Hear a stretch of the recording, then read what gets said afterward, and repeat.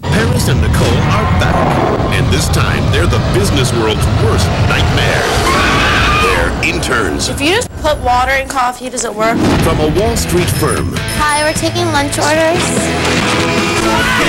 to a busy airline Do you want to kiss goodbye? to a funeral home. So which one of you is planning to die? This time, they mean business. The Simple Life Interns, one hour premiere after American Idol, Wednesday on Fox.